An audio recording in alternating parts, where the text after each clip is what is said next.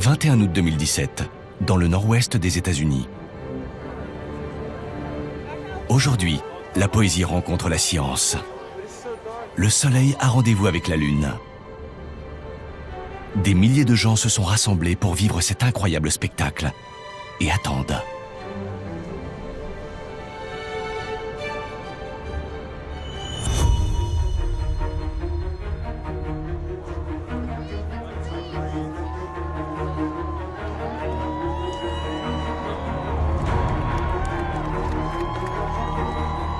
L'éclipse totale commence. La Lune vient peu à peu masquer le Soleil. Cela ne durera que quelques minutes à peine, mais l'obscurité qui s'accroît met la nature à l'arrêt. Tout se fige. Les animaux se taisent. La température baisse. La Terre attend le retour de son étoile.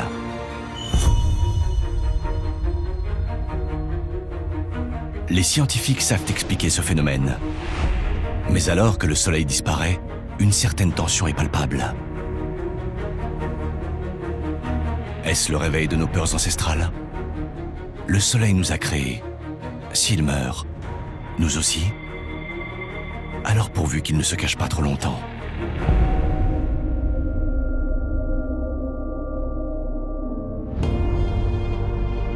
Notre planète, l'air que nous respirons, la morphologie de notre corps, la couleur de notre peau, notre rapport au temps, la naissance de nos religions, le développement de nos sciences, cet astre tout-puissant façonne depuis des millénaires ce que nous sommes. Tour à tour, nous l'avons craint, vénéré, mesuré, tenté inlassablement de le comprendre et de le contrôler.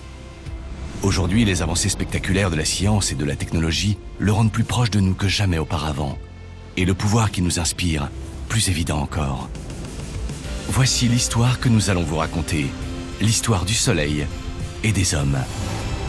Astrophysicien, microbiologiste, climatologue, anthropologue, historien archéologue, experts en énergie, apportent chacun leur voix à ce fascinant récit. Un voyage qui nous emmène au cœur des plus fantastiques découvertes, à la croisée des disciplines qui toutes tentent de comprendre ce lien si particulier qui nous unit au Soleil. Remontons au tout début de cette histoire, aux premières heures de notre monde.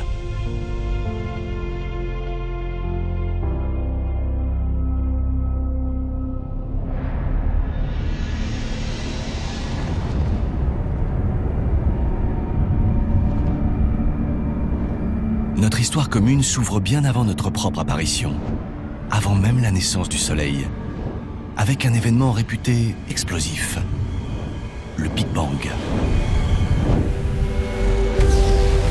En réalité, le Big Bang ne serait pas une simple explosion, mais le commencement, il y a 13,8 milliards d'années, de l'expansion de l'univers. À l'origine extrêmement dense et chaud, l'univers se refroidit alors et commence à se structurer. La matière se concentre les galaxies se forment. Les premiers éléments chimiques, l'hydrogène et l'hélium essentiellement, forment de gigantesques nuages de gaz, des nébuleuses. Dans une nuée de dizaines de galaxies, naît la nôtre, la Voie lactée, le berceau de notre Soleil.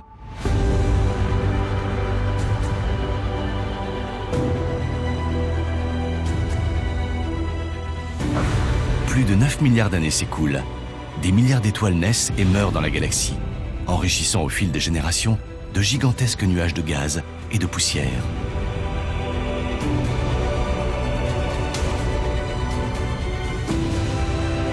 C'est dans l'une de ces nébuleuses, sur un bord de la Voie lactée, qu'une nouvelle étoile s'apprête à faire son entrée.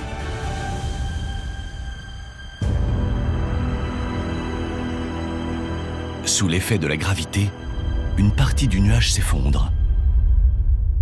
Le Soleil s'est formé comme ça lors d'une nébuleuse. C'est donc par un effondrement. Alors là, euh, le gaz s'effondre, il crée un objet central. L'objet central se met à tourner de plus en plus vite et il y a un disque de matière qui se forme autour de l'étoile. Cet objet central est notre tout jeune Soleil, né il y a un peu plus de 4,5 milliards d'années.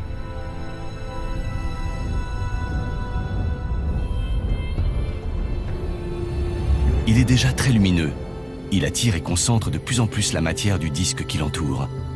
50 millions d'années plus tard, il est devenu le Soleil que nous connaissons aujourd'hui.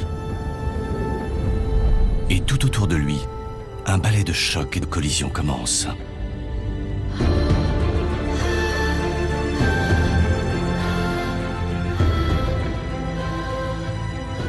La poussière, par agrégat, euh, va finir par former des petites pierres qui vont euh, finalement finir par euh, phénomène d'agglutination et, de, et d'impact se coller les uns aux autres et former des objets de plus en plus gros.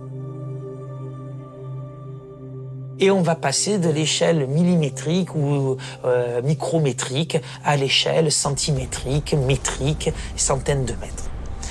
Après, par collision, on va former des objets qui vont commencer à être des objets de taille euh, planétaire, qui vont donc pouvoir euh, euh, capturer une atmosphère. Et il faut savoir qu'un objet devient sphérique quand il fait à peu près un rayon, une taille d'à peu près 600 km. Avant, on a des formes irrégulières. Ainsi naissent les planètes, dans un chaos tourbillonnant de poussière. Peu à peu, chacune trouve sa place la Terre et ses compagnes se mettent à graviter autour du Soleil. Une étoile entourée de planètes, de comètes et de poussières. Le système solaire est né.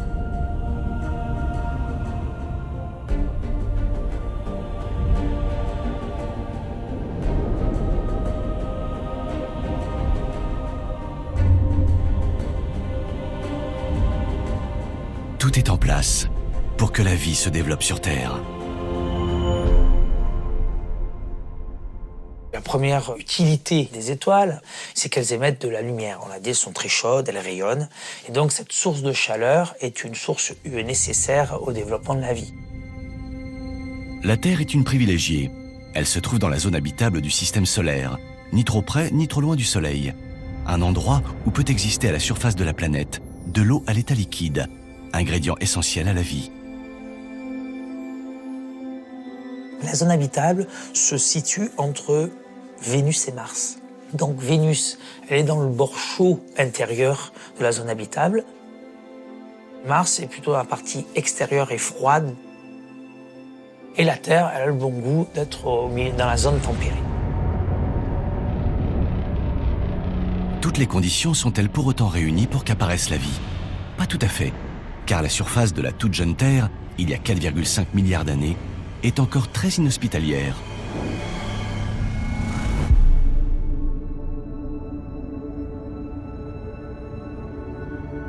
Notre planète, soumise à un bombardement intense de météorites, n'est alors qu'un océan de roches en fusion.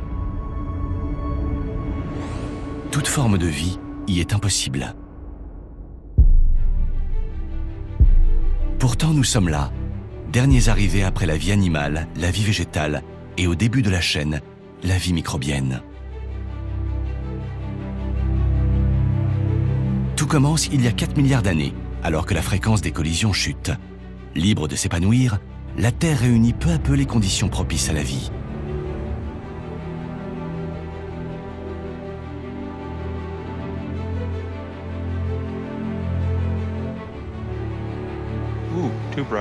David Ward est un microbiologiste américain. Il s'intéresse depuis 30 ans à ces premières formes de vie, vieilles de plus de 3,5 milliards d'années.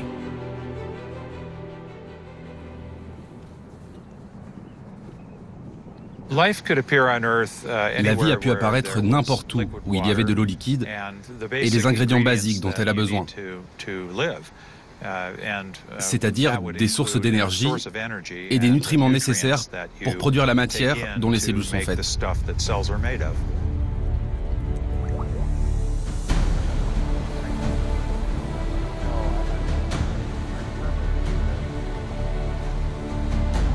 Pour comprendre comment les premières bactéries ont évolué, et surtout comment certaines sont parvenues à utiliser l'énergie du soleil pour prospérer, David Ward a cherché les bactéries actuelles qui s'apparentent le plus à ces organismes des origines.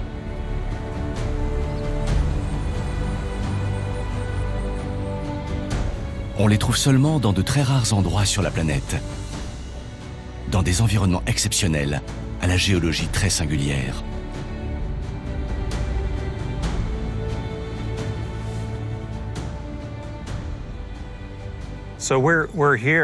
On est ici au parc de Yellowstone pour étudier des micro-organismes que nous pensons être de très bons exemples de descendants de ces formes de vie qui datent du tout début de l'évolution.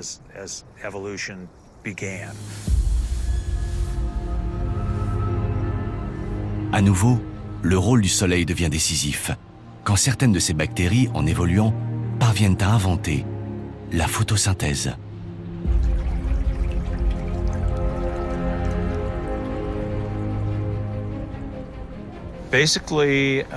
Pour faire simple, un organisme qui fait de la photosynthèse utilise la lumière comme source d'énergie pour transformer des formes simples de nutriments en matières plus complexes qui constitueront ces cellules. Et il y a environ 2,5 milliards d'années, arrivent les cyanobactéries qui utilisent de l'eau et rejettent de l'oxygène. Une révolution qui va changer la face de notre planète.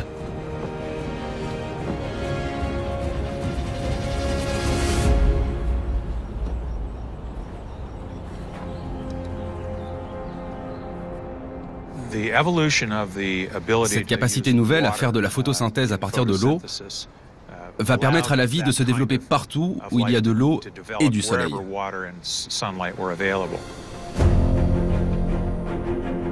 Ces cyanobactéries profitent de leur avantage sur les autres et colonisent la Terre.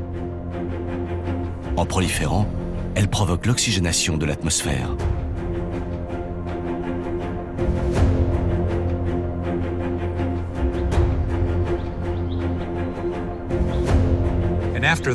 Dès lors, tout l'oxygène libéré peut s'étendre dans l'atmosphère. Désormais, dans ce nouvel environnement, des formes de vie aérobies peuvent évoluer.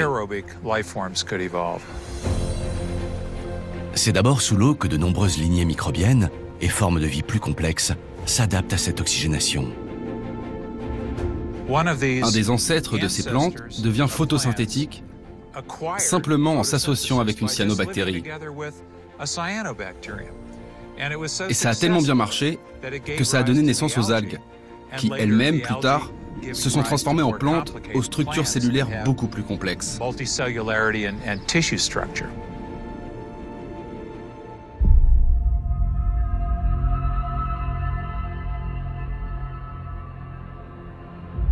Si l'atmosphère de notre planète s'est oxygénée, la vie ne peut pas encore s'épanouir sur la terre ferme.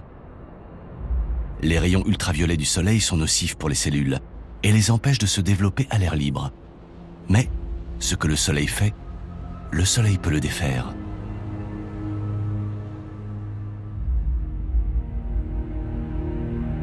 Dans la stratosphère, à plus d'une dizaine de kilomètres d'altitude, les rayons ultraviolets ont suffisamment d'énergie pour dissocier les molécules d'oxygène. Ces atomes libres d'oxygène s'associent alors aux molécules restées intactes. C'est ainsi que de nouvelles molécules à trois atomes d'oxygène se développent et s'installent tout autour du globe. L'ozone est née. Elle prend la forme d'une couche qui s'épaissit peu à peu pour constituer un filtre anti-UV. Ce bouclier bienfaiteur va favoriser et protéger la vie sur Terre. À partir du moment où la couche d'ozone a protégé la Terre des ultraviolets, alors la vie a pu se développer sur Terre et plus seulement dans l'eau.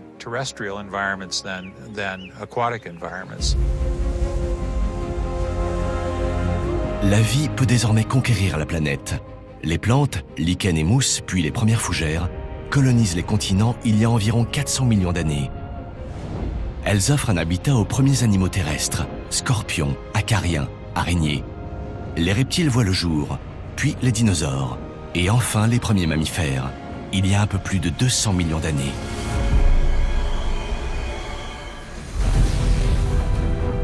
Venu du bout des âges, trônant dans une immensité qui nous dépasse, le Soleil est le créateur de toutes choses, dans ce prodigieux système portant son nom. Les premiers hommes lui doivent leur apparition sur Terre. Mais qu'en est-il de leur évolution?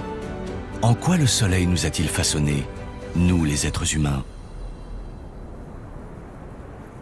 Pour le comprendre, arrêtons-nous il y a environ 2 millions d'années, au moment où nos très lointains ancêtres sortent des forêts africaines pour découvrir de nouveaux territoires, en plein soleil. Une étape clé dans notre évolution, que nous explique Alain Froment, anthropologue au Musée de l'Homme à Paris.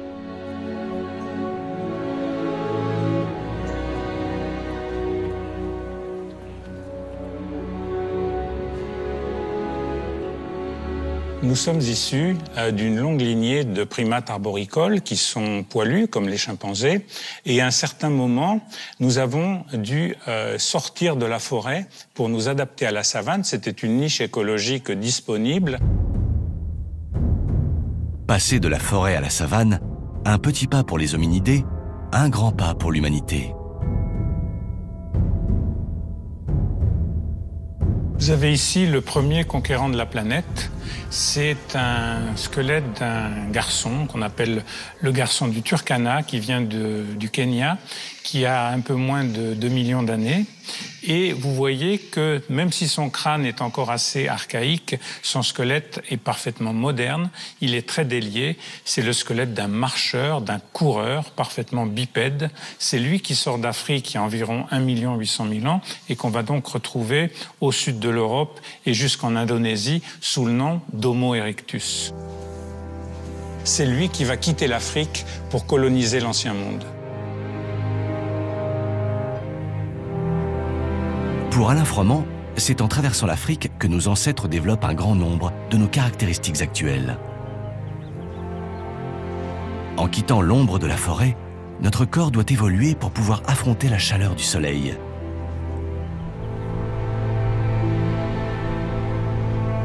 Il influence directement notre anatomie. Cette contrainte, nous la vivons en perdant nos poils. C'est ça l'adaptation à la savane. Et nous, nous avons une contrainte en tant qu'animaux à température constante, à 37 degrés. Nous avons donc une contrainte de rester à 37 degrés, même s'il fait 45 degrés dehors. Et en développant un système d'évapotranspiration, c'est-à-dire de sudation, on a développé des glandes sudoripares, et ces glandes, elles sécrètent du liquide qui, en s'évaporant, nous refroidit. L'une des plus marquantes des évolutions physiques de l'homme dues au soleil est celle de la couleur de la peau.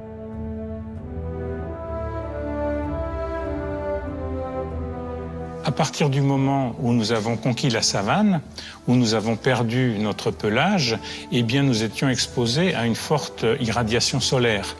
Et c'est là qu'on imagine que la mélanine, qui est ce pigment qui colore la peau en profondeur, la mélanine donc s'est développée pour nous protéger contre l'irradiation du soleil. Donc il faut imaginer que nos ancêtres qui sortent de la forêt vers 2 millions d'années pour euh, conquérir la savane et puis le reste du monde vont être gens foncés de peau. Mais la couleur de la peau varie au fil des générations, en fonction des climats auxquels elle doit s'adapter. Foncé pour les populations des régions ensoleillées, clair là où la luminosité est moindre. Pourquoi de telles variations? Parce qu'il y a un autre euh, mécanisme physiologique qui est très important avec les ultraviolets.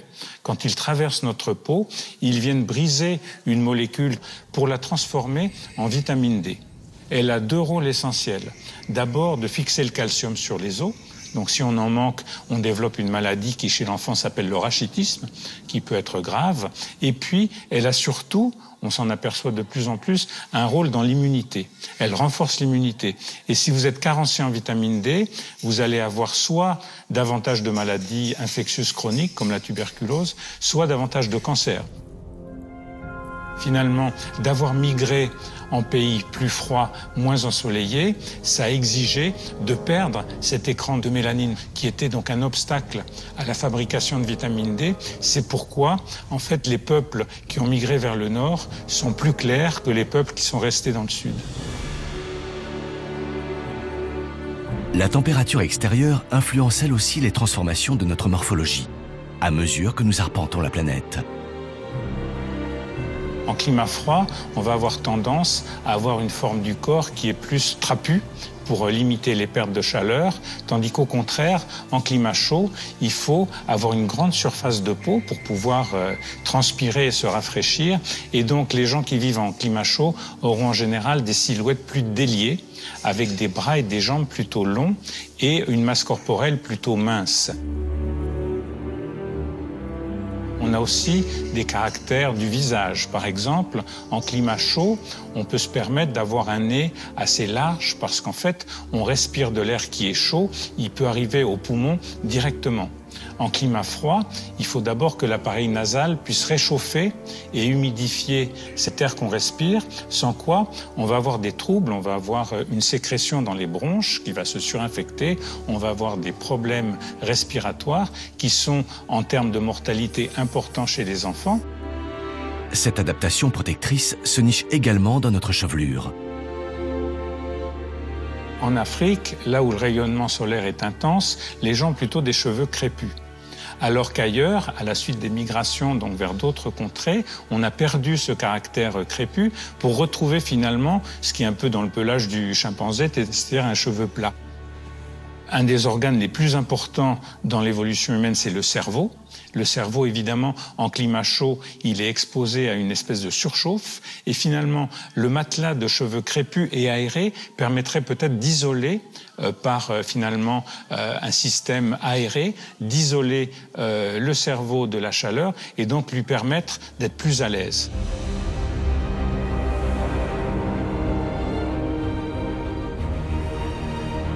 Voilà pourquoi les êtres humains ont des physiques si différents. Parce que le Soleil nous a façonnés au fil du temps, à travers sa lumière et sa chaleur, qui modèlent notre planète et son climat.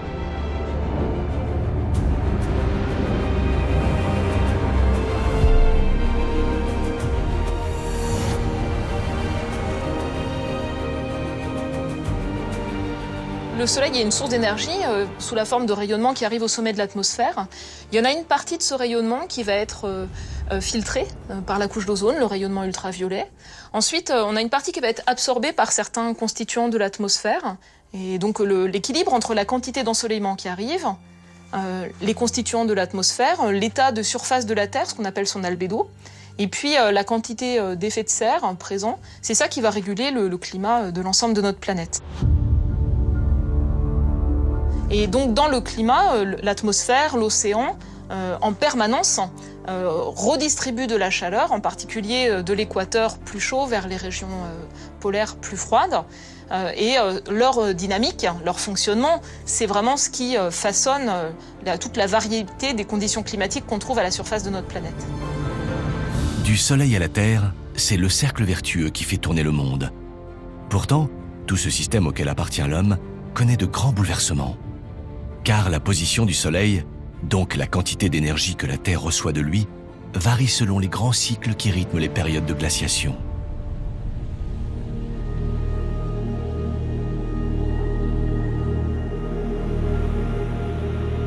Si on remonte euh, au-delà d'un million d'années vers le passé, le climat de la Terre était marqué par des glaciations fréquentes, environ tous les 40 000 ans, mais peu intenses. Et puis depuis un million d'années, le, climat est vraiment marqué par des glaciations beaucoup plus intenses et plus longues, d'une durée euh, en moyenne de l'ordre de 100 000 ans. On sait déjà que la dernière glaciation, qui a culminé il y a environ 21 000 ans, a facilité les grands déplacements de l'homme. Cette dernière glaciation, elle, correspond à un niveau des mers beaucoup plus bas qu'aujourd'hui, environ 120 mètres parce que l'eau était stockée sous forme d'immenses calottes de glace en Europe et en Amérique du Nord. Comme le niveau des mers était plus bas, il était plus facile de se déplacer par exemple entre l'Indonésie et l'Australie. C'est aussi le, moment où le détroit de Bering était euh, abordable à pied sec.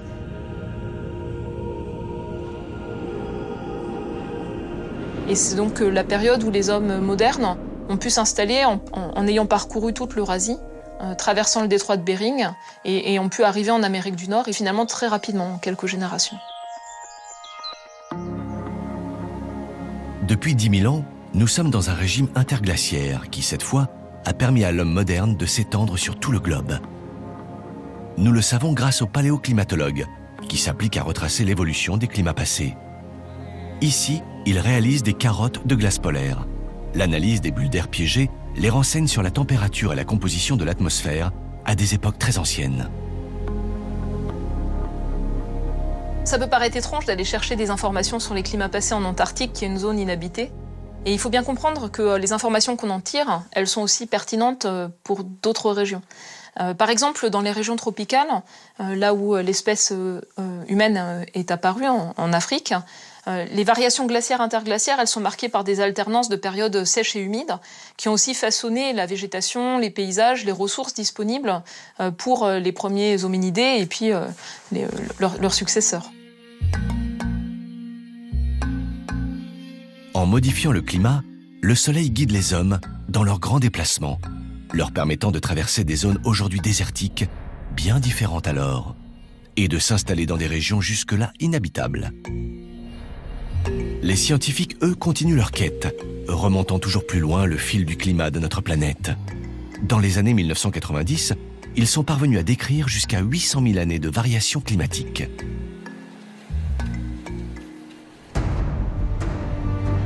Aujourd'hui, ils veulent aller encore plus loin. Le projet Beyond Epica Oldest Ice, lancé en novembre 2016 en Antarctique, ambitionne de remonter jusqu'à 1,5 million d'années. Mieux comprendre ces évolutions climatiques ancestrales, c'est mieux comprendre comment elles ont accompagné notre propre évolution et tenter de prévoir ce qui nous attend. Chef d'orchestre de l'évolution de nos corps, de notre environnement et de notre expansion sur la planète, notre lointain Soleil fait partie de nous autant que la Terre que nous foulons chaque jour. Et alors que l'homme moderne, Homo sapiens, se sédentarise il y a 10 000 ans, il a déjà les yeux tournés vers le ciel.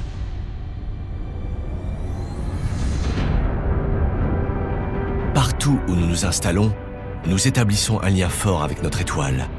Cette lumière qui rythme nos jours et nos nuits, qui nous réchauffe, qui fait pousser les plantes et proliférer les animaux, et qui nous manque tant quand elle disparaît à la faveur de l'angoissante nuit.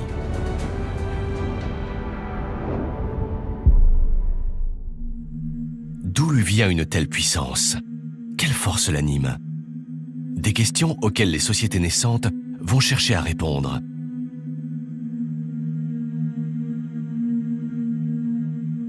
Yael Nazé, astrophysicienne à l'Université de Liège en Belgique, s'intéresse particulièrement à ce qu'elle appelle l'astronomie des anciens.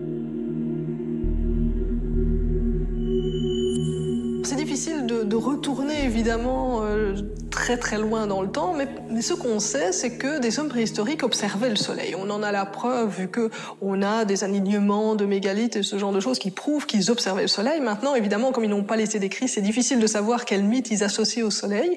Et donc, évidemment, les premières preuves solides datent euh, des premières grandes civilisations. Les mythes de ces premières civilisations tentent d'expliquer l'inexplicable les astres et les phénomènes célestes, tout ce qui brille au-dessus de leur tête et tout ce qui brille moins.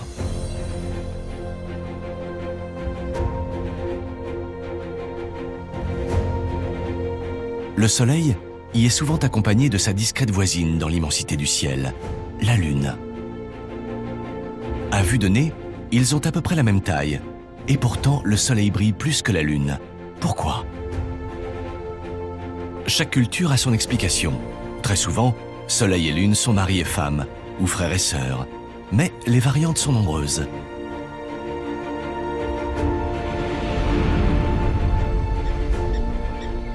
Par exemple, au Congo, là, c'est au départ, le Soleil et, la Lune sont tout aussi brillants euh, l'un que l'autre, mais évidemment, il faisait un petit peu trop chaud sur Terre.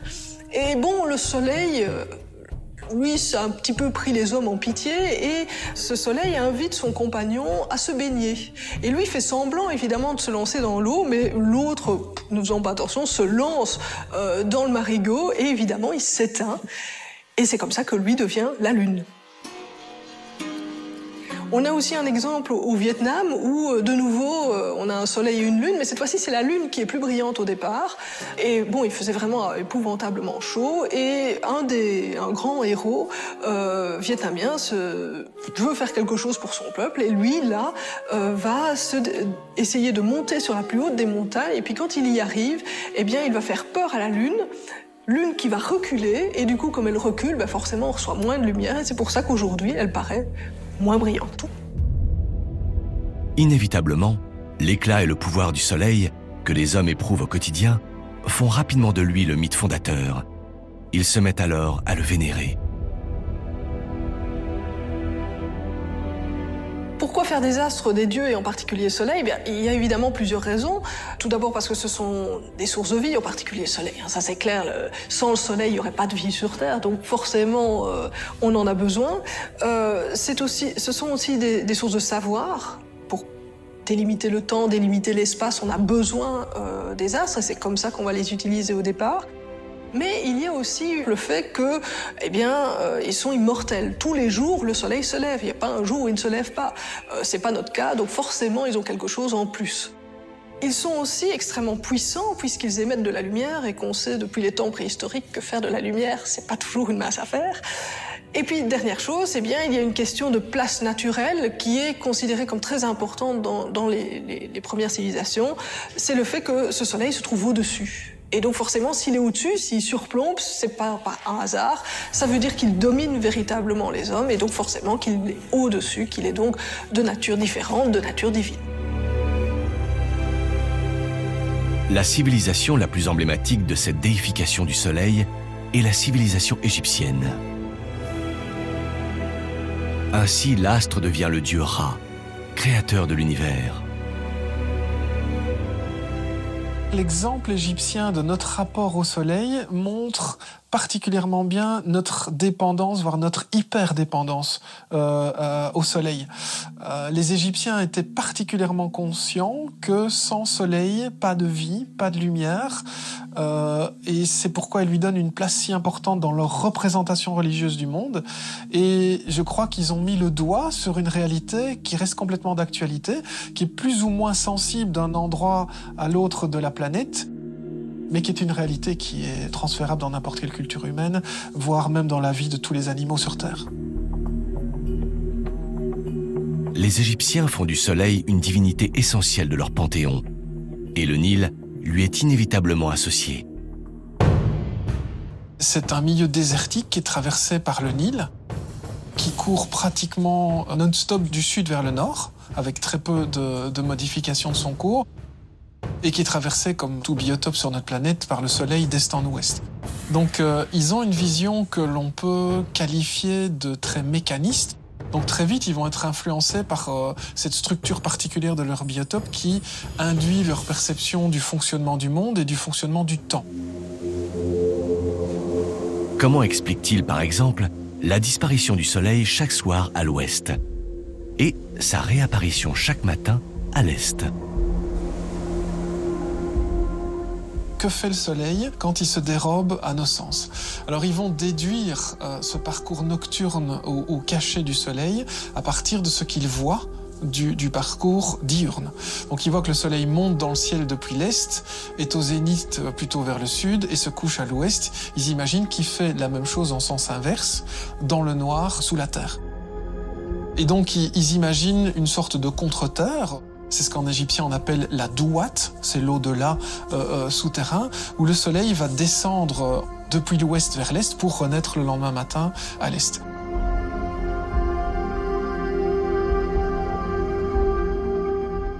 Les Égyptiens vivant dans un biotope où le Nil est absolument central et omniprésent, le ciel étant bleu, pour eux, le soleil circule sur une barque sur un île céleste. Donc forcément, sous la Terre, il doit y avoir un île souterrain euh, que la barque du Soleil euh, emprunte pour pouvoir traverser une série d'épreuves qui lui permettront de renaître le lendemain dans l'au-delà.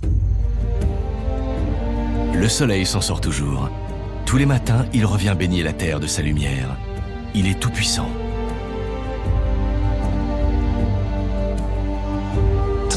les pharaons vont euh, s'identifier à euh, cette force euh, évidente qu'est le soleil. Dès le début, le, soleil est une métaphore du, roi. Le roi utilise le soleil comme image de, son pouvoir, mais cette idée, cette métaphore va être formulée de plus en plus précisément. Et donc, on a une étape très importante avec la quatrième dynastie, puisque c'est l'époque des grandes pyramides, c'est l'époque de Khéops, Képhren et Mykérinos. Ces pyramides en elles-mêmes sont des symboles solaires. Par ailleurs, à la quatrième dynastie apparaît le titre, euh, qui est un titre tout à fait officiel de pharaon, de fils du dieu solaire Ra.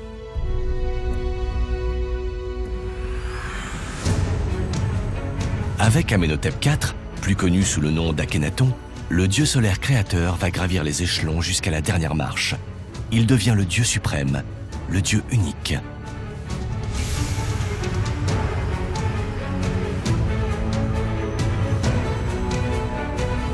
Toutes les autres divinités sont bannies du Panthéon. Nous sommes vers 1350 avant notre ère.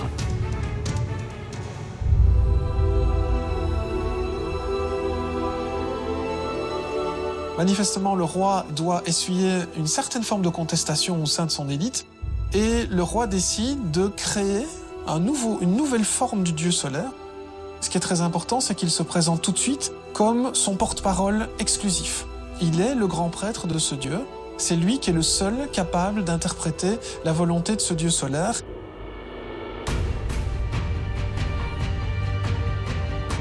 Ra devient Aton, et il n'est plus représenté que par le disque solaire lui-même. Aucune autre image n'est autorisée. Toute statue à son effigie est détruite. Et donc, on va faire disparaître les toitures des temples égyptiens traditionnels Ici, tout est ouvert et le dieu rentre dans le temple à travers ses rayons. C'est les rayons du soleil qui manifestent la présence du dieu sur terre et en ce compris dans le temple. Akhenaton impose le culte unique du dieu solaire. Mais il disparaîtra avec lui. À la mort du pharaon hérétique, les Égyptiens font table rase de son héritage.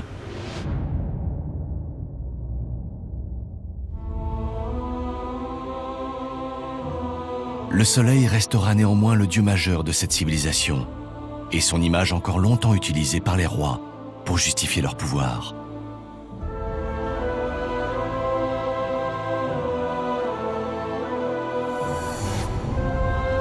À force de vénérer et contempler leur étoile, les hommes apprennent à la comprendre.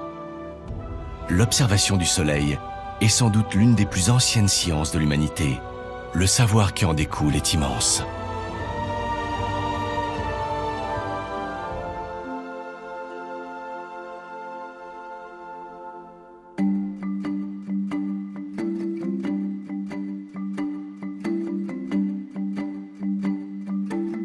Observer le soleil, ça veut dire quoi? Ben, Ça veut dire observer euh, sa course au cours de l'année et là se rendre compte que finalement le soleil tous les jours ne fait pas exactement la même chose. Il va pas se lever exactement toujours au même point. Euh, lorsque on est en été, il va plus se lever au nord-est. Lorsqu'on est en hiver, il va plus se lever au sud. Et quand on regarde à midi, eh bien, le soleil va être plus ou moins haut en fonction, des saisons. Ce qui va permettre de définir des moments importants, qui sont les moments extrêmes, les solstices, solstice d'été, solstice d'hiver, et puis le moment au milieu hein, euh, de ces deux solstices, qui sont les équinoxes, les seuls jours finalement où le soleil se lève à l'est et se couche à l'ouest. Le soleil devient un objet d'étude, de mesure. Une approche à tendance scientifique émerge et permet d'établir la durée du jour, de l'année maîtriser le temps, le début d'une nouvelle ère. Donc forcément, par la, succession hein, des, solstices et, des équinoxes, on se rend compte que bon, la, mesure simple du mois ne suffit pas. Il faut vraiment une unité plus longue qui est l'année et qui est basée sur le Soleil. Ce qui fait que les premiers calendriers qui étaient lunaires vont être tout doucement remplacés par des calendriers solaires, basés sur cette course de 365 jours et un petit peu. Il y a presque 5000 ans, les premiers calendriers égyptiens se construisent au rythme du Soleil. Déjà, les années comptent 12 mois et les jours 24 heures. Ces calendriers, même imparfaits, vont permettre d'être beaucoup plus en phase avec les saisons, ce qui permet évidemment d'être en phase avec les récoltes, avec les, semences et ce genre de choses, mais surtout aussi d'être en phase avec les impôts, puisque euh, le, roi, le pharaon, va avoir besoin évidemment de récupérer une partie de la récolte. Et il ne peut le faire que s'il a un bon calendrier. Mais de tous les anciens calendriers retrouvés, ceux de la civilisation maya sont parmi les plus précis. Pour tracer les mouvements complexes du Soleil, des étoiles et des planètes, ils édifient des observatoires et développent de savants calculs.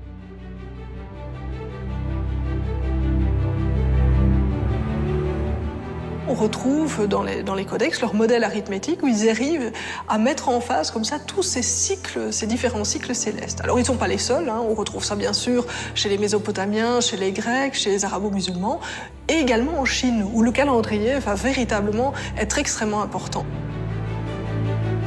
Ce n'est pas un hasard si les cultures précolombiennes, comme les Mayas, développent un lien si fort au Soleil. Une des raisons est très simple, elle est géographique. Établis en Amérique centrale et en Amérique du Sud, ils vivent dans une région située entre les deux tropiques, où le soleil abonde, la seule partie du monde où il passe deux fois par an au zénith, c'est-à-dire exactement à la verticale du lieu où l'on se trouve.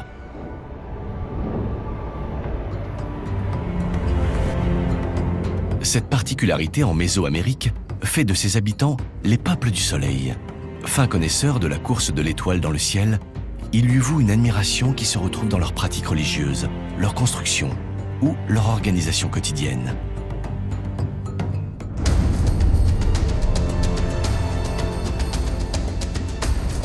La cité précolombienne de Xochicalco, découverte au Mexique à la fin du XVIIIe siècle, est l'exemple même d'une construction humaine dédiée au soleil. Ruben Morante Lopez, archéo-astronome mexicain, se consacre depuis plus de 25 ans à l'étude des vestiges de ce lieu symbolique. Le culte solaire y revêt deux facettes.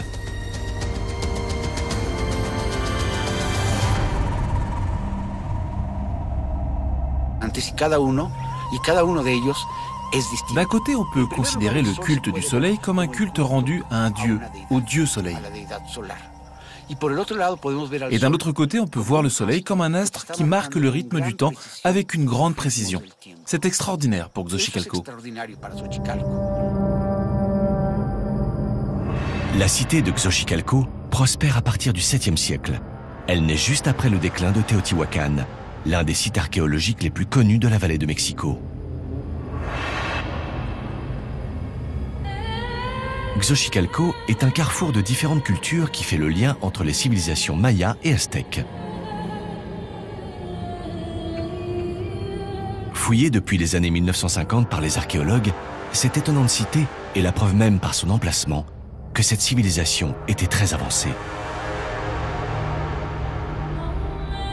Xochicalco est entouré d'une série de montagnes à l'horizon, comme celle que l'on peut voir derrière moi, très pratique pour faire des observations astronomiques.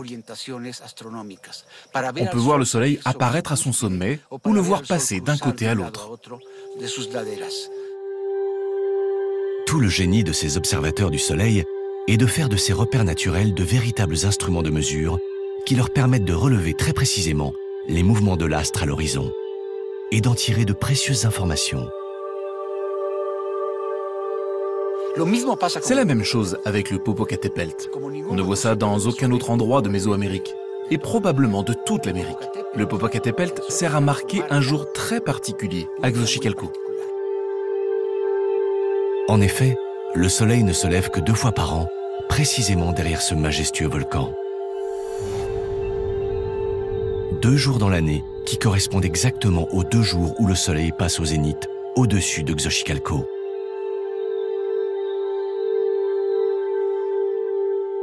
Ils savaient que quand le soleil se levait derrière le Popocatépetl, il ne faisait aucun doute que le soleil allait passer à midi au point le plus haut de toute l'année. Ce passage du soleil au zénith est un phénomène important dans la cité, comme en témoignent d'étonnantes constructions souterraines.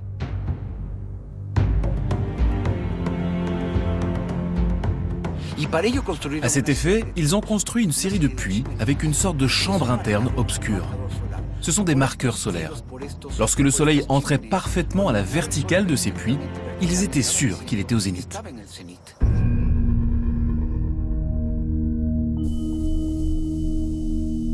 Aujourd'hui, ces puits attirent une foule de visiteurs, curieux d'assister à ce spectacle créé par les hommes à partir du soleil. Le puits ne sert pas uniquement à signaler le transit zénithal, il sert aussi à marquer deux points extrêmes la première et la dernière entrée du Soleil. Entre la première et la dernière entrée, il y a exactement 105 jours. «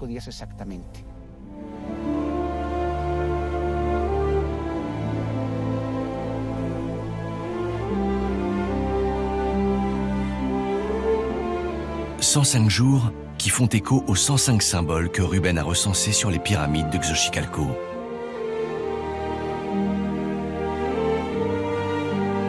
Ce sont des glyphes gravés dans la pierre qui, selon ses travaux, correspondent à ceux utilisés pour décrire les jours dans le calendrier.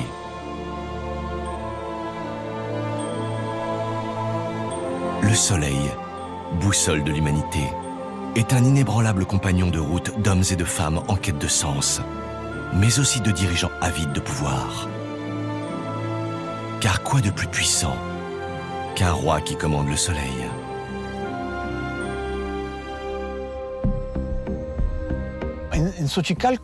À Xochicalco, comme c'était le cas chez les Mayas,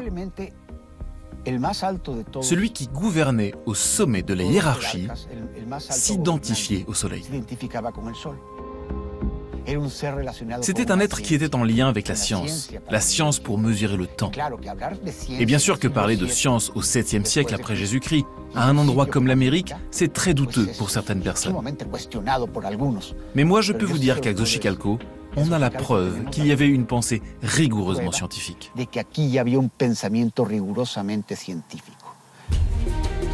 Sept siècles plus tard, le célèbre calendrier aztèque, appelé la pierre du soleil, apparaîtra dans le centre du Mexique. Pour Ruben, il ne fait aucun doute qu'il découle de celui de Xochicalco.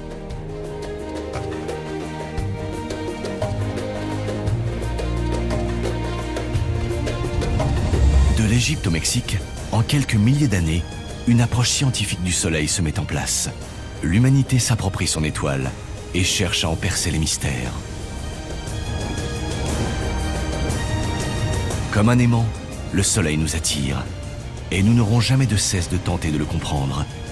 Pour répondre à la question universelle, qu'est-ce qui fait tourner le monde? C'est finalement en Europe que va apparaître une nouvelle vision du cosmos et surtout une nouvelle vision du Soleil et de ses planètes. Sur le vieux continent, on vit avec une représentation du Soleil qui date du deuxième siècle de notre ère, celle de l'astronome d'Alexandrie, Ptolémée. Fondé sur la vision grecque d'Aristote, ce système perpétue l'idée erronée que la Terre est immobile au centre de l'univers. Chaque planète tourne sur un cercle appelé épicycle, lui-même en rotation autour de la Terre.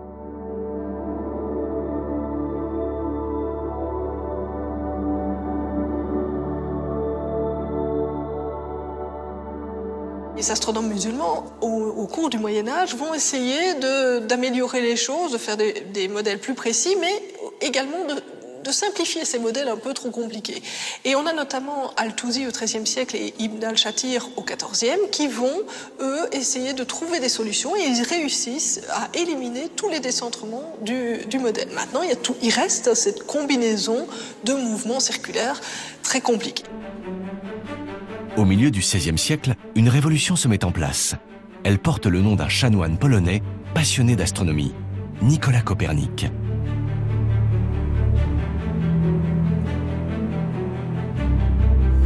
En quête d'une harmonie de l'univers, il reprend les raisonnements de ses prédécesseurs, mais pour corriger les incohérences du modèle, il change la position relative du Soleil et de la Terre. La révolution copernicienne offre une vision totalement nouvelle du monde. C'est un bouleversement scientifique, culturel et religieux. Donc la Terre va se retrouver à tourner autour du Soleil et c'est le Soleil qui va prendre le centre. À cette époque-là, il faut bien dire qu'on n'a aucune preuve du mouvement de la Terre. Au contraire, on a même plutôt des preuves qui prouvent que la Terre ne bouge pas. Sur quoi s'est-il basé? Eh bien, Finalement, c'est plus pour des raisons philosophiques. Copernic ne va publier son ouvrage De Revolutionibus, des révolutions, que très tard, en 1543, peu avant sa mort, sans doute pour éviter les ennuis avec l'Église.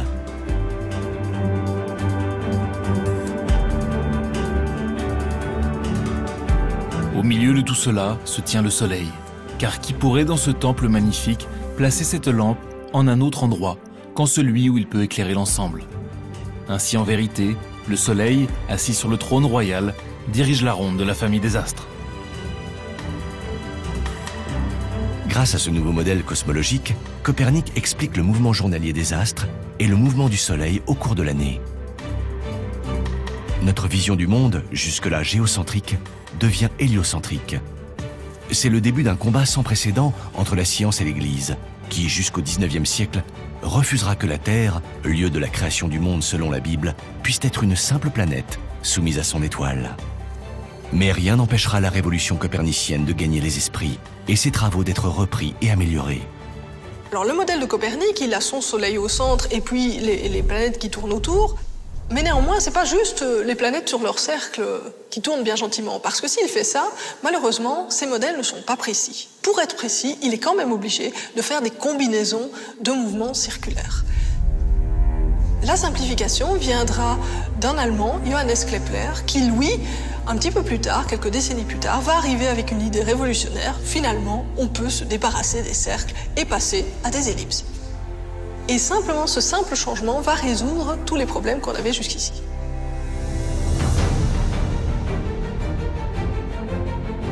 Des ellipses au lieu de cercles, et c'est tout le système solaire qui gagne en harmonie. À mesure que les connaissances se précisent, un besoin se fait sentir. Les instruments pour décrypter le cosmos doivent eux aussi connaître une révolution.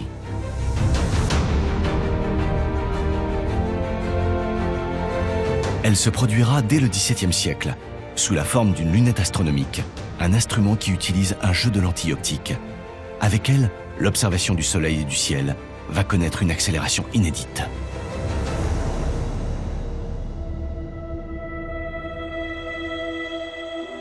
Le savant italien Galilée est parmi les premiers à en saisir l'intérêt.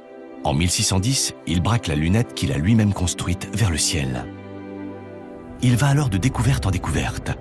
Des cratères sur la Lune, les phases de Vénus, une multitude d'étoiles dans la Voie lactée et des satellites autour de Jupiter. Au début, ça ne concerne pas des masses le Soleil, mais au bout de très peu de temps, finalement, on va la tourner euh, vers le Soleil. Ça se passera durant l'hiver 1610. À la mi-décembre, on a un Anglais, Thomas Harriot, qui pointe sa lunette vers le Soleil et qui y voit des taches. La découverte puis l'observation de l'évolution de ces taches solaires sont fondamentales. On s'aperçoit que leur nombre augmente et diminue de manière cyclique. À y regarder de plus près, elles révèlent que le Soleil tourne sur lui-même. Très peu de temps après, Galilée, lui aussi, eh bien, euh, va euh, voir ces taches les observations de Galilée vont être décisives puisque lui va vraiment montrer cette évolution des tâches au cours de la rotation du Soleil où on voit les tâches un petit peu se déformer quand elles arrivent au bord par l'effet de perspective. À la mort de Galilée en 1642, la physique d'Aristote et le modèle de Ptolémée sont effacés. En faisant du Soleil un objet d'étude, la science lui ôte un peu de son mystère, mais pas de son pouvoir d'attraction.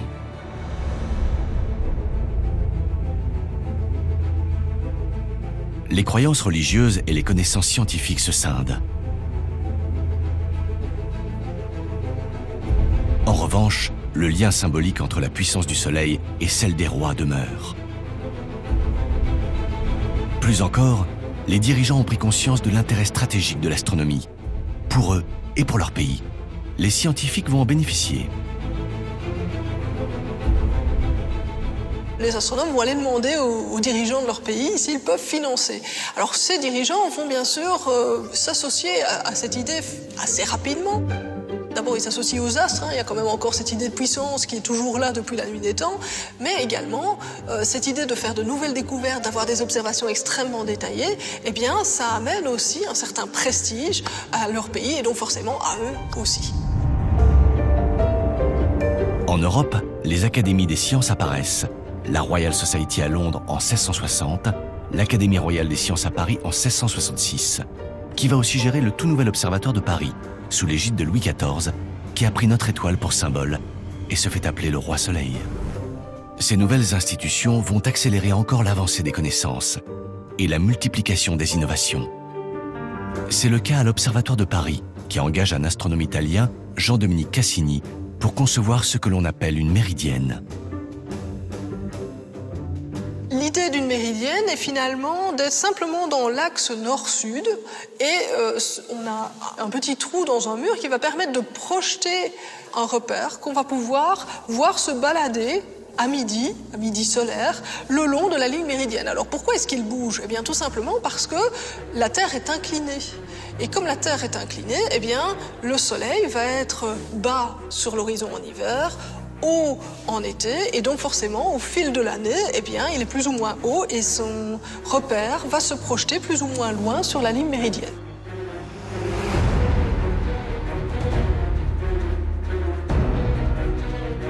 Évidemment, ce chemin parcouru va dépendre de l'inclinaison de la Terre. Et donc, simplement en mesurant l'excursion faite par le repère, on va pouvoir mesurer l'inclinaison de la Terre. Cassini a d'ailleurs une idée bien précise en tête. Et sa petite idée, c'était de montrer que Kepler avait raison. Que le mouvement apparent du Soleil était bien régi par cette ellipse que, que parcourait la Terre autour du Soleil. Et il arrive à le prouver avec cette méridienne. L'intérêt des scientifiques pour le Soleil est foisonnant. L'astre parmi les astres n'est plus une inaccessible étoile que l'on observe de loin. Désormais, on peut en décortiquer jusqu'à sa lumière. Le monde de l'immatériel révèle une part de ses secrets. Ainsi, en 1666, Newton, le père de la gravitation universelle, découvre que la lumière blanche n'est pas si blanche. En faisant passer un rayon lumineux à travers un prisme de verre, il montre qu'elle est en fait composée d'un spectre de sept couleurs différentes, allant du rouge au violet.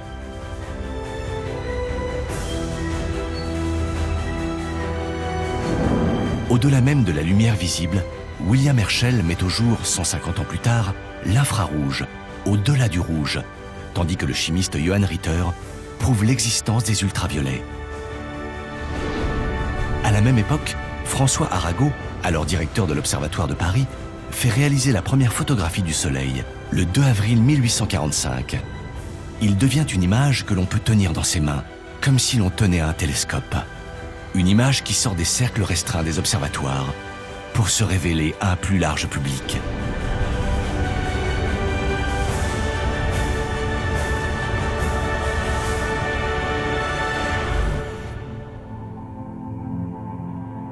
Depuis des millénaires, l'humanité cherche à décrypter le Soleil. Et depuis des millénaires, elle fait pas à pas tomber des barrières. La tâche est gigantesque et obsédante.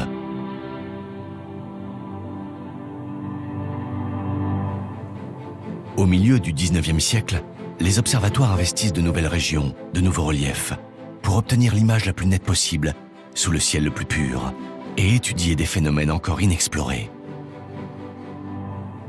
Maintenant, on connaît finalement assez bien la surface du Soleil, mais il n'y a pas que ça sur le Soleil. Pourquoi? Parce que lorsqu'il se produit des éclipses totales, on se rend compte qu'il y a toute une atmosphère autour. Il y a, cette espèce d'aura un petit peu lumineuse. On ne sait pas très bien ce que c'est. On l'appelle la couronne solaire, mais on l'a jamais véritablement étudiée en détail. Les choses vont changer dans les années 1930 grâce à un homme, Bernard Lyot, et à son invention, le coronographe. L'observatoire du pic du Midi, dans nos Pyrénées centrales, l'astronome Bernard Lyot, spécialiste du Soleil, Lyot voulait en étudier la couronne. Cet instrument révolutionnaire reproduit l'effet d'une éclipse et rend ainsi la couronne solaire visible. Bernard Lyot installe son instrument à l'observatoire du pic du Midi, à 2870 mètres d'altitude.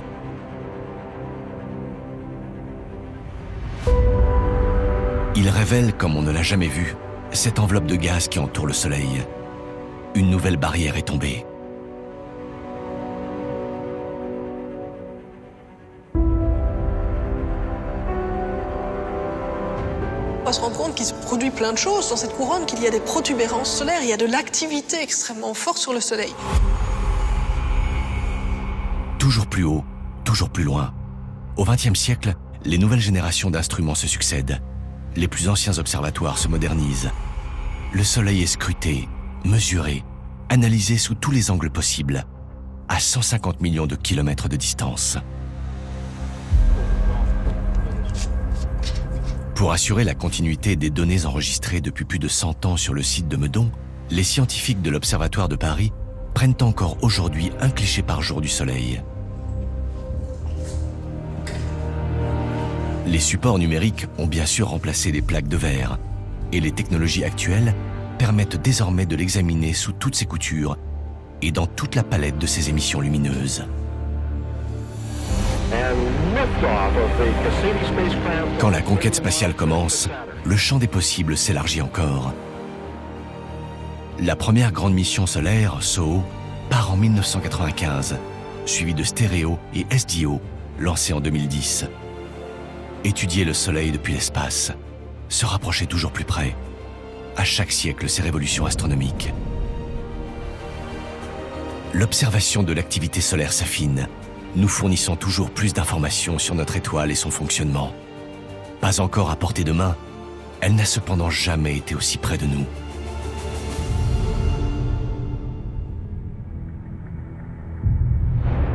C'est important parce que cette activité solaire, elle a un impact direct sur la Terre. Elle va perturber notre champ magnétique, alors ça fait de jolies aurores polaires, certes, mais ça peut également conduire à des disruptions euh, de, circuits électriques, euh, de télécommunications, et donc il est important, évidemment, euh, de pouvoir mieux connaître cette activité solaire. Lorsqu'un orage magnétique perturbe la Terre, il peut provoquer des dégâts considérables. Sans téléphone ni Internet, sans GPS ou électricité, c'est toute notre société qui se paralyse. Aujourd'hui, nous savons que ces orages magnétiques sont provoqués par des éruptions solaires, d'impressionnants phénomènes qui explosent à la surface. Car si de loin le Soleil nous semble toujours calme et paisible, il est en réalité le siège d'une gigantesque activité permanente.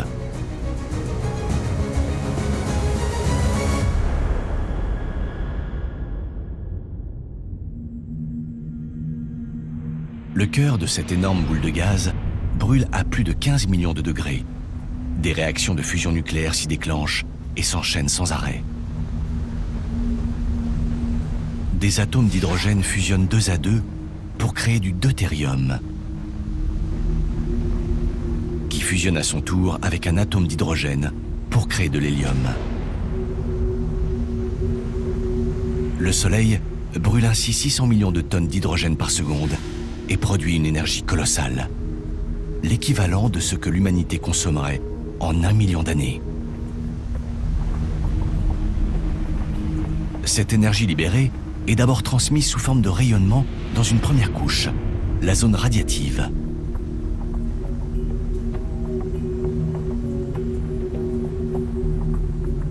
Puis, la chaleur s'accumulant, elle est évacuée à travers la couche suivante par de grands mouvements qui brassent toute cette matière.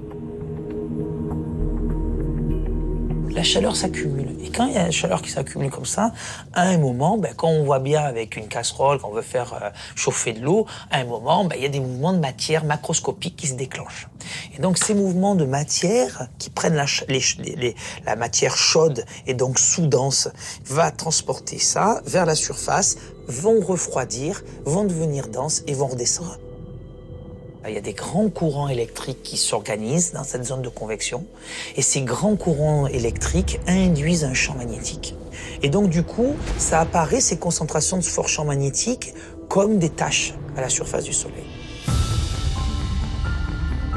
400 ans après leur découverte, les taches solaires trouvent enfin une explication. Elles reflètent l'activité magnétique du Soleil. Plus l'activité est grande, plus il y a de taches. Les éruptions se multiplient, comme les risques d'orage magnétique sur la Terre. Des points brillants, euh, des protubérances, des boucles magnétiques, et celles-ci peuvent être instables. si elles sont instables, elles vont à ce moment-là éjecter de la matière dans l'espace. Le milieu entre le Soleil et la Terre est inondé de matière venant du Soleil. Les scientifiques savent que cette activité est cyclique. Les taches, les protubérances, les éruptions, tout cela évolue selon un cycle de 11 ans. Quelle en est l'origine? Nous ne le savons pas encore. Le découvrir nous permettrait peut-être de prédire le phénomène. Il y a cette surprise également. En surface, la température du Soleil est d'environ 6000 degrés. À mesure que l'on s'en éloigne, elle devrait diminuer. Mais au contraire, elle grimpe en flèche pour atteindre plus d'un million de degrés dans la couronne. À chaque nouvelle découverte, de nouvelles questions se posent. Pour y répondre, les chercheurs développent des instruments de plus en plus spécifiques et arpentent la planète à la recherche des lieux les plus propices aux observations.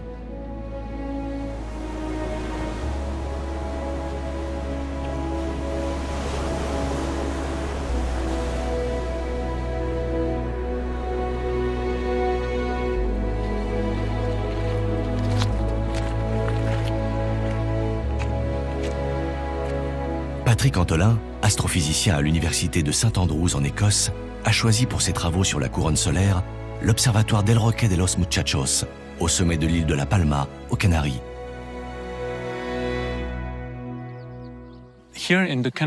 Les îles des Canaries sont un des meilleurs endroits pour observer non seulement le Soleil, mais aussi évidemment les étoiles.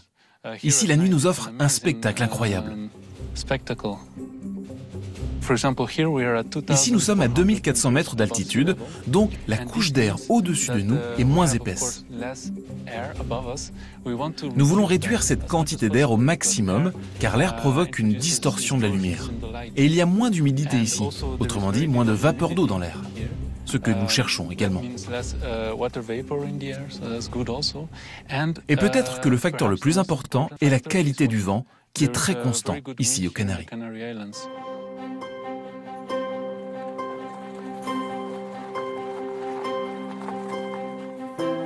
Chaque jour, Patrick Antolin observe en direct le Soleil grâce au Swedish Solar Telescope, le deuxième plus grand télescope solaire au monde.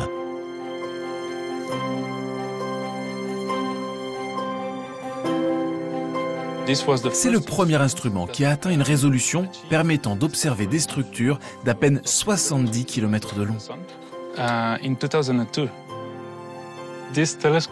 Ce télescope n'est pas aussi gros que celui situé en dessous de nous. Mais c'est certainement l'un des meilleurs au monde pour observer le Soleil. Les télescopes solaires sont plus petits que ceux qui observent les autres étoiles, car la quantité de lumière qui arrive du Soleil est si importante qu'il faut limiter la surface de réception.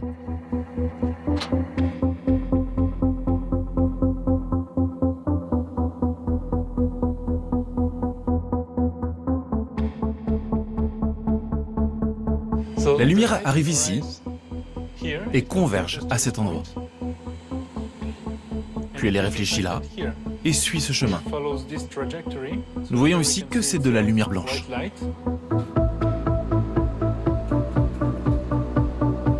Patrick Antolin étudie les phénomènes à la surface du Soleil et les filaments de matière qui nourrissent la couronne. La plupart du temps, nous sommes concentrés sur ce qui se passe sur ces écrans, là derrière moi. Nous pouvons observer cette granulation, ces mouvements de convection qui sont importants si nous voulons comprendre l'état du champ magnétique dans le Soleil.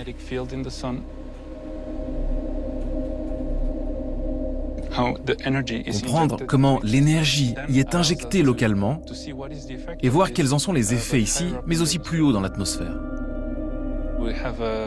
Nous avons une myriade de phénomènes, notamment des jets de matière. On peut observer également un autre phénomène très intéressant, cette structure sombre et filamenteuse. Ce sont des objets très très importants, en particulier pour la météo spatiale, parce qu'ils sont très denses et peuvent générer des éruptions. Et quand cela se produit, elles libèrent une quantité énorme de matière qui peut atteindre la Terre et complètement perturber les satellites et nos instruments. Tous les astrophysiciens sont d'accord. Cette activité permanente du Soleil, son cycle, ses éruptions, son influence directe sur la Terre, tout est lié à son champ magnétique. Le champ magnétique est vraiment le moteur de tous les phénomènes dynamiques que nous observons. Et une des questions importantes est donc de savoir comment ce champ magnétique évolue.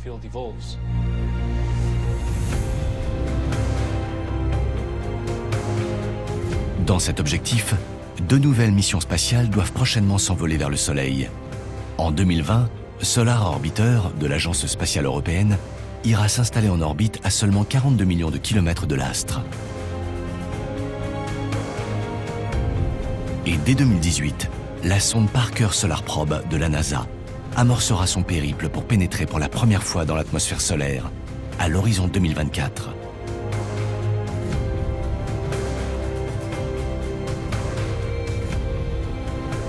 Et qui va, elle, rentrer très très très très proche du Soleil, à moins de 10 rayons solaires. Il faut savoir que euh, Mercure est à peu près à 70 rayons solaires. Donc on va être 7 fois plus près du Soleil que Mercure. Jamais une sonde ne se sera approchée si près du Soleil. Elle finira même par y plonger.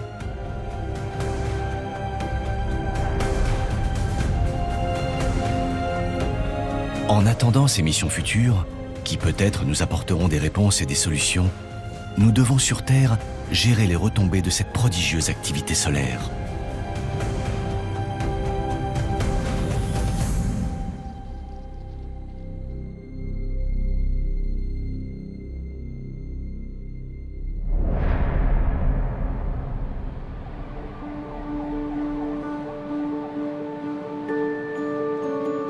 Prévenir le danger de ces retombées, la NASA a lancé en 2010 le satellite SDO, Solar Dynamics Observatory.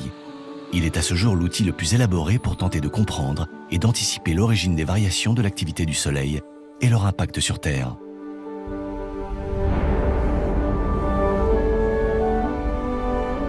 Ce satellite est dirigé par le centre Goddard de la NASA à Washington. Dean Pesnell est chercheur à la NASA. Il est le responsable scientifique de cet observatoire spatial. Bienvenue au centre opérationnel du Solar Dynamics Observatory, qu'on surnomme aussi le MOC. C'est ici que les ingénieurs pilotent le satellite. SDO observe en permanence l'activité de la surface du Soleil. Grâce à lui, nous savons désormais quand une éjection de matière, dite éjection de masse coronale, est émise dans notre direction. Très concrètement, que se passe-t-il quand cela se produit? En combien de temps le nuage magnétique qu'elle génère arrive-t-il jusqu'à nous? Et quelles en sont les conséquences? Il faut environ 8 minutes à la lumière pour nous atteindre. Mais il faut entre 15 heures et quelques jours à ces particules pour faire le même chemin.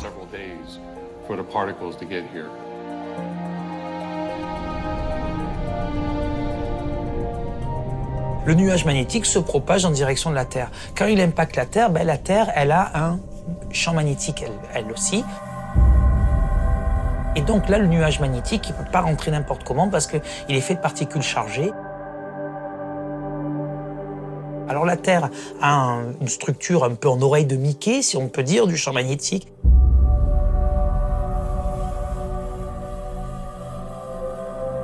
Mais comme il y a du vent, en fait, les oreilles de Mickey, sont un peu déformées. Elles sont comprimées sur la face avant de, la planète et elles sont étirées un peu comme des cheveux au vent quand on est dans une, sur une moto. Quand ce nuage magnétique arrive, ça perturbe les lignes de champ magnétique de la Terre.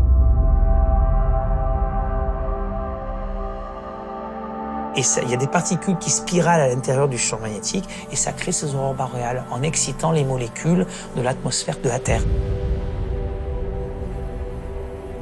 C'est une manifestation de l'arrivée de particules énergétiques du Soleil que sont les aurores boréales. Mais ça, c'est l'aspect sympa.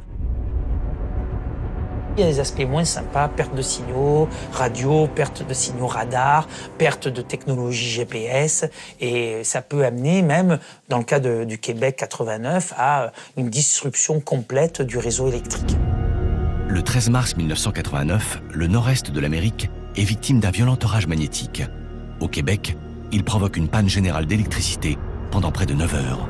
353 000 foyers qui sont privés d'électricité. L'électricité est omniprésente dans nos sociétés modernes. elle donne au Soleil un pouvoir nouveau sur nous, celui de nous paralyser. Pour s'en prémunir, une nouvelle discipline est apparue, la météo spatiale. Le terme météo spatial est apparu dans les années 90. Il se passe des choses sur le Soleil, il se passe des choses sur Terre.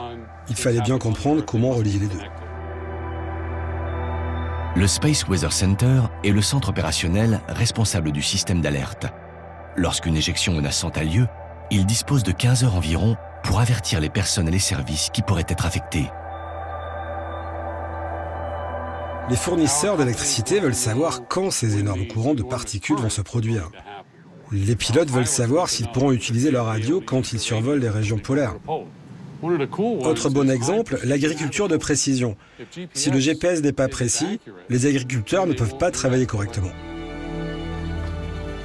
En perturbant les activités de nos sociétés hyper connectées, le Soleil nous rappelle à sa manière sa toute-puissance.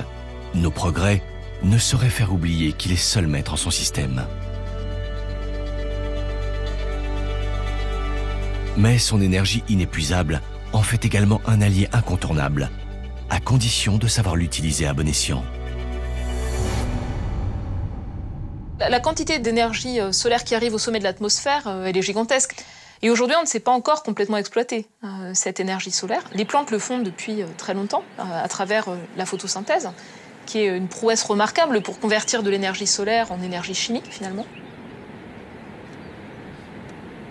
Un des enjeux, bien sûr, pour euh, répondre euh, au défi du changement climatique, c'est euh, sortir de la production d'énergie basée sur les énergies fossiles, comme le pétrole, le charbon et le gaz, et arriver à mieux exploiter des sources d'énergie renouvelables qui sont soit liées au soleil, soit liées au climat. Ça demande d'être capable de prévoir plusieurs jours à l'avance ce que sera la quantité d'ensoleillement dans différentes régions, estimer la production pour arriver à gérer au mieux cette intermittence Notre capacité à mieux utiliser l'énergie solaire grâce aux nouvelles technologies marque une nouvelle étape dans l'histoire qui nous lie à notre étoile, comme le fut à son époque la création du calendrier. Combiné aux prouesses de l'homme, le Soleil peut désormais nous faire voler.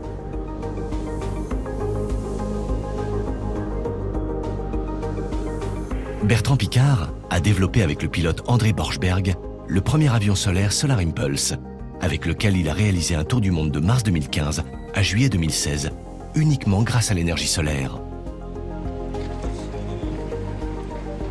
La totalité de l'énergie qu'on reçoit et qu'on utilise vient du Soleil, que ce soit le vent par des changements de température sur la planète créés par le Soleil, que ce soit les vagues, que ce soit...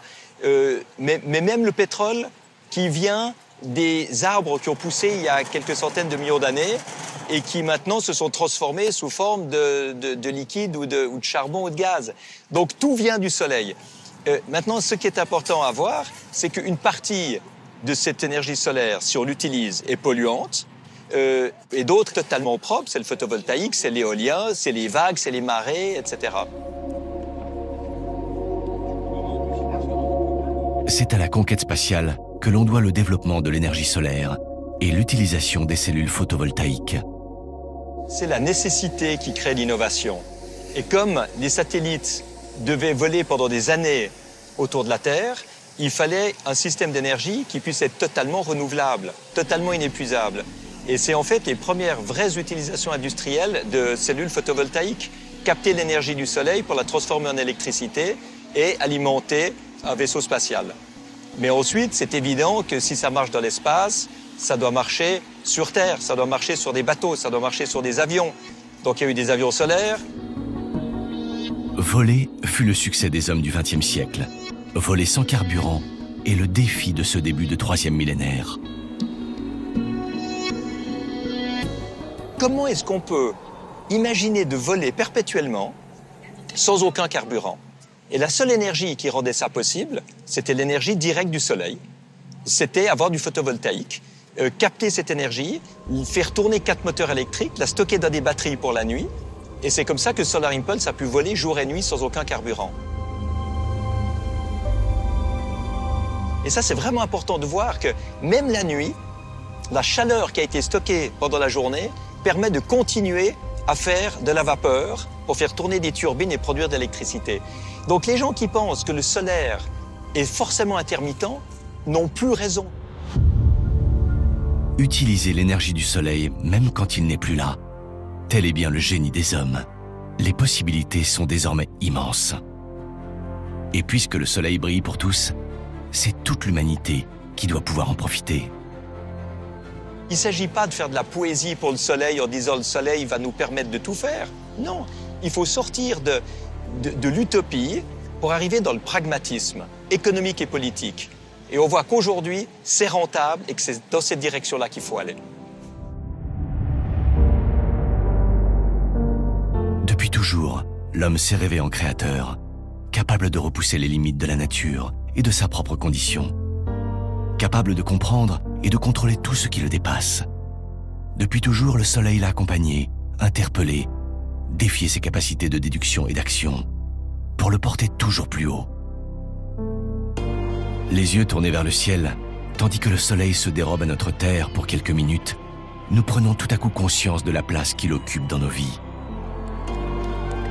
Il nous aura fallu des milliards, des milliards de levées et de couchers de soleil, d'éclipses, d'observations, pour vivre en harmonie avec lui.